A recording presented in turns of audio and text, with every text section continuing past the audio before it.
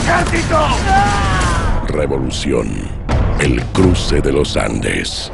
Creo que el bicentenario fue motivo eh, como para justificar que todas estas instituciones nos juntemos para poder enfrentar inversiones en cine de estas características que permitan hacer un homenaje a los héroes de la patria con películas como esta y sobre todo con objetivos como estos, ¿no? de que se exhiban de manera gratuita con todos los vecinos, con toda la gente, recuperando ese cine. Toda esta pelea porque la comunicación sea un derecho y forme ciudadanía va a impactar más acá o más allá en un cine nacional que refuerce la identidad nacional, que sirva para poner en debate además del entretenimiento, algunos temas que es bueno que se debatan en el país, y me parece que eh, los héroes de la patria merecían eh, películas como esta.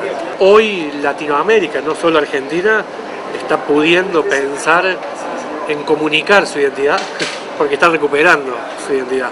Trabajar con esta producción fue realmente complicado, es una, producción muy grande, muy muy grande, hace muchísimo que no se hace una cosa semejante, eh, sumado a la cantidad de extras, caballos, actores, etcétera, en escena, se suma la complicación de que es una película de época y estamos en un momento donde hemos casi eh, destruido cualquier vestigio de época en la Argentina, excepto algunos casos, como acá en la ciudad de Córdoba, que tenemos la manzana jesuítica, la verdad que no hay mucho más, entonces todo hay que reconstruirlo.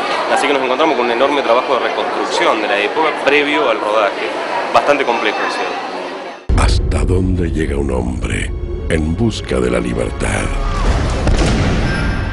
Muy necesario que nosotros aprendamos a contar nuestra propia historia. Todos los países del mundo lo hacen, Estados Unidos lo hacen, y hasta te cuenta la historia tuya de otros países. Eso es muy peligroso. Es muy necesario abrir el debate sobre nuestra propia historia y poder contarla entre nosotros.